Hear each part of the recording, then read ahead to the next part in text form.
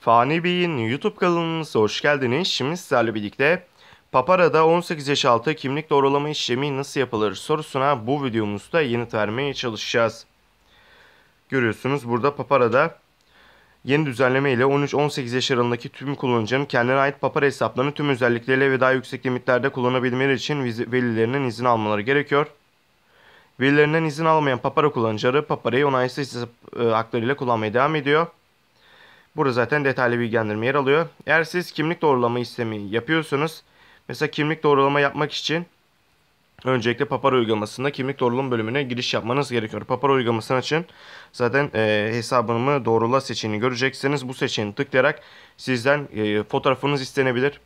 Onun dışında tabii ki e, canlı kontrol istenebilir. Bunları yapıyorsunuz. Kimlik okutma vesaire bunları yaptığınızda kimlik doğrulama ile birlikte hesabınızı onaylayabilir ve rahatlıkla istediğiniz işlemleri yapabilirsiniz. Videomuz bu kadardı. Umarım videomuzu beğenmişsinizdir.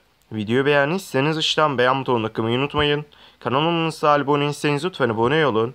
Bir sonraki videomuzda görüşmek üzere. Hoşçakalın. Kendinize iyi bakın.